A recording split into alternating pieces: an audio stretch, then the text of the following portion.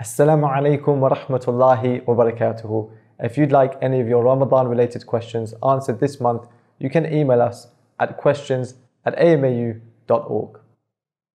واقول في القران ما جاءت به اياته فهو الكريم المنزال واقول قال الله جل جلاله والمصطفى الهادي ولا اتاول The question we're going to answer today is as follows. A revert is struggling with a bad environment at home this Ramadan but can't move out and struggles to balance between worship and helping their non Muslim parents. What is your advice? الحمد لله رب العالمين والصلاة والسلام على المبعوث رحمة للعالمين نبينا محمد وعلى آله وصحبه أجمعين. So this question relates to a revert Muslim who is going through a hard time at home, who it appears from the question is uh, concealing their faith, not telling their parents about it, who's struggling to pray, uh, and who is struggling with the month of Ramadan. So we'd like to start by asking Allah Azza wa Jal Al Hayy Al Qayyum, asking Allah Azza wa Jal, the ever living and the sustainer of all creation, the one who there is no God worthy of worship but Him, to make it easy for this particular person and for all of the reverts who are in that situation where they are under pressure and in difficulty because of the environment that they're in. We ask Allah subhanahu wa ta'ala to Al Fattah. We ask Allah subhanahu wa ta'ala, who's the one who opens things up, to open up the doors for them and to make it easy for them and to give them the ability to be able to come out from that environment into an environment where they can worship Allah with ease. And I'm going to try, inshallah ta'ala, to answer the different aspects of this question as best as possible, uh, seeking the help of Allah Azza wa Jal. So, first of all, we have a very important principle in Islam, and that principle is taken from the statement of Allah Azza wa Jal, فَاتَّقُوا اللَّهَ مَسْتَطَعْتُمْ Fear Allah Azza wa Jal as much as you can. Have as much taqwa, and just for the purpose of a quick translation, have as much fear of Allah as you can. Protect yourself from the punishment of Allah as much as you can. So we're always going to be saying to that new Muslim, to that revert, we're going to be saying to them that do your very best, do whatever you can to do the right thing, try to come as close to it as you can and do the best that you're able to do. And that's going to be sort of a, a principle for you. But I'm now going to go into a little bit more detail also to try and give you some more specific advice. But as a general principle in Islam, you always try to do the best that you can. And that's why there is a hadith, a narration from our Prophet Muhammad sallallahu alaihi wasallam, which, which was reported by the noble companion Abi Hurairah. And in this narration, the Prophet sallallahu alaihi wasallam he said, فَإِذَا أَمَرْتُكُم بِشَيْءٍ فَأْتُوا مِنْهُ مَا اسْتَطَعْتُمْ وَإِذَا نَهَيْتُكُمْ عَنْ شَيْءٍ فَدَعُوا And in a narration, فَاجْتَنِبُوا He said that if I command you to do something, then do whatever you are able from it. And if I forbid you from something, then leave it. Or in another narration, keep away from it. So really we, we want to start with that principle because I believe that there's many things in terms of, of the situation of this new Muslim that they might come across where they're not able to do everything the way they would want to. So you do as much of it in the best possible way as you can. But there is a difference between the prohibitions and the commands. And that's why in this hadith there's a difference that is made between the two. In the prohibitions, it's easier to leave them because something that's wrong, you just have to stop doing it. But as for things you have to do, like you have to do this, you have to do your prayers and give your zakat, and you have to fast the month of Ramadan, then you do the best that you possibly can and the most that you possibly can in the circumstances that you are in. And Allah Azza wa told us in the Quran, La yukallifullahu nafsan illa wus'aha. Allah doesn't burden a person with more than they can bear. And now I want to move on with my advice uh, and answer to this question. And I want to talk a little bit about dealing with the non Muslim parents as well, because I just believe that if we have a revert in the situation, and there are probably many, many people in this uh, situation uh, in you know around the world, I want to also give some general principles that will help you, inshallah. Uh, Allah subhanahu wa ta'ala told us in Surah Luqman in ayah number 15, وَإِن جَاهَدَاكَ عَلَىٰ أَن تُشْرِكَ بِمَا لَيْسَ لَكَ بِهِ عِلْمٍ فلا تطعهما وصاحبهما في الدنيا معروفة واتبع سبيل من أناب إليه ثم إلي مرجعكم فأنبئكم بما كنتم تعملون Allah subhanahu wa ta'ala told us if your parents they compel you and they force you to make a partner with me in that which you have no knowledge of, then do not obey them, but accompany them in this world in the right way, in the best way. So, what's really important here is that when it comes to being forced by non Muslim parents or being compelled, even if they compel you to make a partner with Allah subhanahu wa ta'ala, even if they compel you, compel you and force you and put pressure on you with regard to your religion, there are two things. Number one, you must not obey them in that. You must not agree with them in that. And number two, you mustn't cut off from them and be rude or be uh, bad towards them. Rather, you have to do your very, very best to help them and to support them in this world, but you can't obey them if they tell you to do something that is wrong. So we, we hope that principle or that concept will really help the new Muslim who is uh, struggling with this. So now we come to the issue of concealing a person's uh, iman, a person who doesn't tell. Uh, because in the, in the this question was worded in, in a very long way. We just summarized it for the video. Uh, but the longer question mentioned that the person had was concealing their iman and wasn't telling their parents about their faith. We have an evidence for this in the story of the of the Islam of a companion whose name was Abu Dhar, and that the Messenger of Allah sallallahu alaihi wasallam he said to him, Ya Abu Dhar, uktum hadha al-amr. O Abu Dhar, conceal this matter, and conceal your Islam. And this hadith is narrated by Al Bukhari and others as well. And Ibn Taymiyyah, he said, uh, Rahimullah ta'ala, wa kitmanu ad-din shay'un wa idharu ad-din al-batil shay'un akhar. And this is a very important point for the questioner. He said, concealing your religion is one thing, and saying you're part of another religion is something else. He said, فهذا لم يبح الله قط إلا لمن أكره بحيث أبيح له النطق بكلمة الكفر والله تعالى قد فرق بين المنافق والمكره He said, Shaykh al-Islam rahimahullah ta'ala, he said that concealing your religion is one thing and, and telling them that you're another religion is a different thing. He said, For this, Allah did not allow someone to say that they are in a different religion except for the one that is forced, i.e., the one that is forced through a threat of death, or they fear they're going to lose their life, or they are tortured. This is the one who it's allowed for them to say, I'm not a Muslim. As for concealing your religion, just keeping it quiet, this is a totally different matter. And this is easier and lighter in the sight of Allah Azza that it is possible for a person to conceal their religion, not to tell what religion they are, or not to openly tell the people that they are a Muslim. And I know that's what the questioner seemed to highlight, but I wanted to differentiate between these matters. The, the difference between telling someone that I'm a Christian, I believe in Christianity, or saying words like somebody who says that uh, Jesus is God, for example. This is only allowed for the one who is in the threat of death or severe uh, torture or uh, beating or something like that. As for just not telling people you're a Muslim, this is something where we would give the following advice. We would say to this person, not telling people you're a Muslim brings about its own difficulties and hardships. And we would not advise that, and we would not say that that is the asl, that's not the original way that a Muslim should be, because Allah said, وَأَمَّا بِنِعْمَةِ رَبِّكَ فَحَدِّثْ As for the blessings of your Lord, tell the people about them. And more than one of the scholars of tafsir, they said that this means to speak to the people about Islam and to tell people about Islam. So ultimately, the basic concept for the Muslim is that you should be telling the people about Islam and you should be happy to tell the people that you're a Muslim. However, if you fear a hardship upon yourself, and you are scared that something bad will happen to you, then it is permissible for you to conceal your Iman. And you shouldn't go to the level of saying that you're a non Muslim or doing non Muslim practices like going to a church or a temple. That is in only the most extreme of uh, cases where the biggest threat and the most danger is there for the person.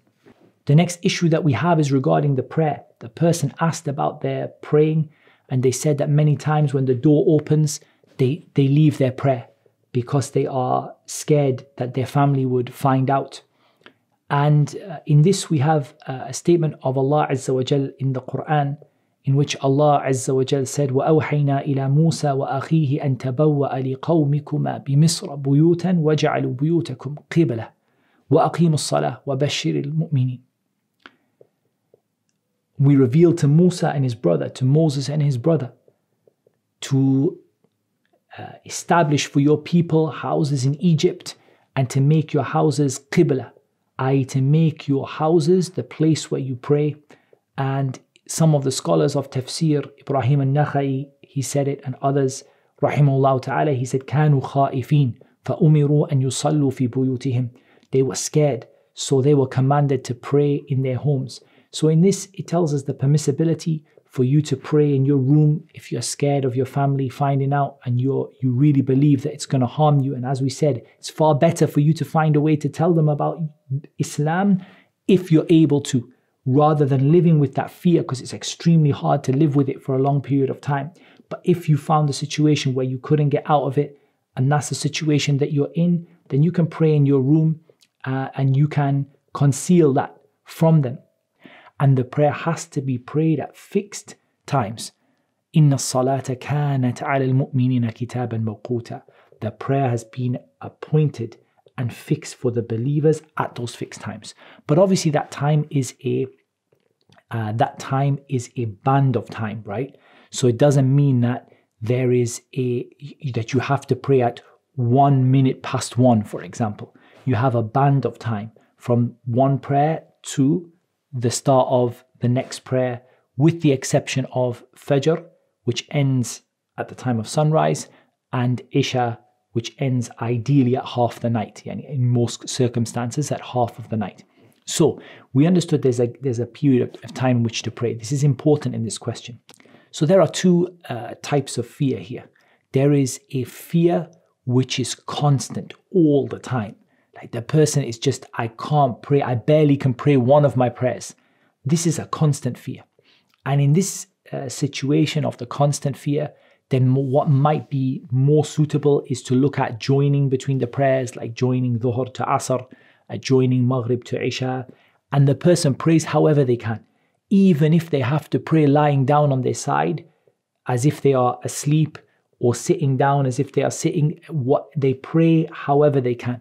But ultimately, if you are in a state of constant observation and constant fear, the ruling is different from the occasional time, meaning I can pray in my room, but sometimes uh, my uh, parents open the door from time to time, the, sometimes during the day. So in this situation, uh, one of two situations apply, one of two conditions apply. Either there is no time left for the prayer, in which case you continue praying however you can. If there is no time left for the prayer, you have to pray. You have to pray. You can't stop praying, but you pray however you can. However, it's possible for you to pray, you pray. That's in the situation where there is no time left. But presuming there is time left, if there is time left to repeat the prayer, there is no harm in you breaking your prayer in this situation. There is no harm in the person breaking their prayer and then uh, repeating the prayer, presuming there is time left to repeat the prayer.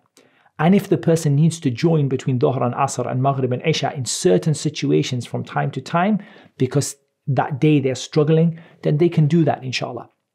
However, also we should bear in mind that if a person is able to avoid breaking their prayer, this is what they should do. So, as an example for this, the door opens, the person doesn't know if the parent's going to walk in and talk to them, or if the parent is going to um, just knock the door, or if they just misheard it. So if they break the prayer every time, some of the scholars they mention about this that they mentioned it from from somewhat that it's, it's particularly with regard to sometimes women who fear for their child or something that people break their prayers all the time and it's not allowed for a person to break their fard prayer except in in a very serious situation so the first thing is when you hear that noise of the door opening, you don't need to break your prayer. Just stop what you're doing. And even if you have to make a small movement, like put your hands down by your sides, or that you just have to move slightly without changing your, uh, like too much away from the Qibla or something like that, um, maybe the person is in the tashahud position and they change just to sit normally and wait and see if there's a need to break the prayer or not. Then, if there is a real fear that the person fears a severe harm for themselves, then they can break the prayer and repeat it. But there has to be this real fear. And that's why we, we continue to emphasize to this particular person that finding a way to tell your parents about your Islam, generally speaking, is the route that you want to go down. That's where you want to go to. Allahumma, unless the fear is, is very, very severe and you fear extreme harm upon yourself. Because the, the hardship of this praying in secret and repeating the prayer is, is very, very difficult. But that's some advice that we want on that particular issue. The question also mentioned in this description of the problem that they are facing, they mentioned that there is very loud music and whether they could put earphones on in order to uh, remove the distractions. And from this, we have something we can allude to from a hadith of our mother Aisha radiallahu anha. In this hadith, the Prophet ﷺ prayed, and in his prayer, he became distracted by the patterns on this, uh, in this piece of uh, material. He became distracted by it. And he uh, he said that this has these patterns or these things have distracted me in my prayer, and he commanded for a different material to be brought. And Imam al Hafid ibn Hajar, rahimullah ta'ala, he mentioned that this hadith can be an evidence for the need to remove all anything which distracts you in the prayer. So we have to remove the distractions.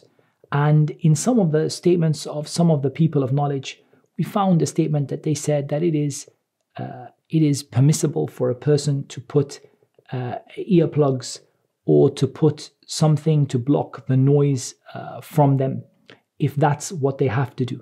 And they said that people shouldn't do this out of a, a, need to get near to Allah, and that's correct. People shouldn't try, like, it shouldn't be the case that everyone watching this video says, Oh, that will really help my kids make noise. I should put earplugs. That's not the case. But for the person in a situation like the one that is mentioned, where this person is, is suffering from the loud music and they their parents are not turning it off and they're concealing their faith, then if the person puts earplugs in or something to block their ears so that the noise goes down, or if they put something um, that will, you know, I don't think playing Quran is ideal because that's going to also distract you from your own Quran that you're reciting in the prayer. But maybe you could have, if you had like a noise cancelling headphone or something that would uh, switch off the noise or lower the noise down, then perhaps this is something that in this unique situation, it could be allowed in order to get the, the least harm of the situation or the best out of a bad situation. We continue to emphasize and encourage this new Muslim that the earliest opportunity to look for every opportunity to leave the place and to leave where they are uh, and not to worry about it, not to feel like that, uh, not to feel that they might suffer or they might have difficulty. Rather, Allah subhanahu wa ta'ala will open up for them and Allah Azza will make it easy for them. So I really genuinely advise them to, to do everything they can to get themselves out of uh, out of this situation. And the last part of the question, they said that they spend a lot of time serving their non-Muslim parents, and they mentioned that when they're serving their non-Muslim parents in Ramadan, it gets to the situation where their ibadat suffer. So I would say in this that there are really three situations. We can say two, and we'll add a third one on the end. The first is that they are making you busy away from the faridah, the obligatory actions, like you can't pray your prayer, five daily prayers on time, and so on. And the second one is they're making you busy away from the nawafil, the voluntary actions. So as for the voluntary actions, then we have a hadith, it's a very famous hadith, hadith of Abi Hurairah regarding the regarding uh, Jurayj, the, the, the monk and that his mother called him and he was in a voluntary prayer.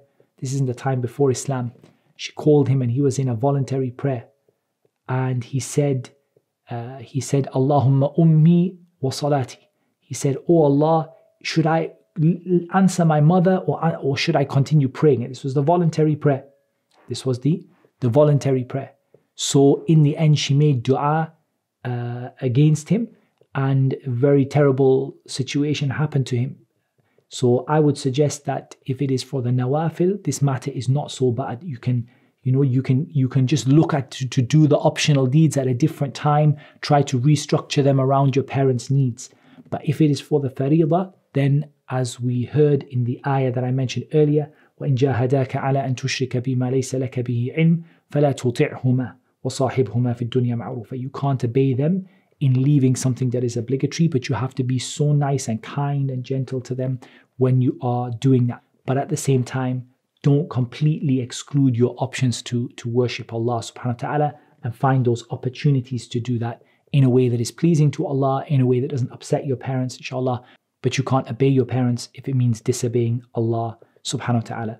That's what Allah Azza wa made easy for me to mention. Allah knows best. Wassalatu wassalam ala nabina Muhammad wa ala alihi wa sahbihi ajma'in.